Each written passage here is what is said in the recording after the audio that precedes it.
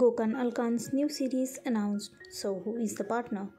One of Turkey's most popular star, Gökhan Alkan's fans are eagerly waiting for his return to the screen.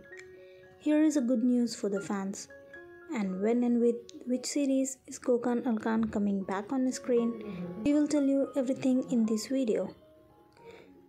Gökhan Alkan last appeared in the series Wounded Heart with Tanrısevsin the series Wounded Heart attracted a lot of attention in Turkey as well as abroad. Now he is back with a very ambitious project. According to the news of Birsen Altuntaş, Gökhan Alkan received several TV series offers this season, but he waited as he always accepts offer only after a lot of research. Alkan's new project has finally been announced. The handsome actor said yes to the series Kraliçe Queen which will be an adaptation of the very famous American series Sugar Queen.